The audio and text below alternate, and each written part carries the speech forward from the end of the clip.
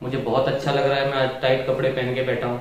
मुझे बहुत बहुत अच्छा लग रहा है। मुझे गायथो थी जिससे कि मैं ना तो कोई टाइट कपड़े पहन सकता था और ना मैं कहीं बाहर आ जा सकता था। अगर आपको भी ये गायथोकेमिस्ट्रिया है तो एक बार ज़रूर यहाँ पे विज़िट करें। डॉक्टर अमित गुप्ता के पास बहुत अच्छा ट्रीटमेंट और बहुत अच्छा स्टाफ है।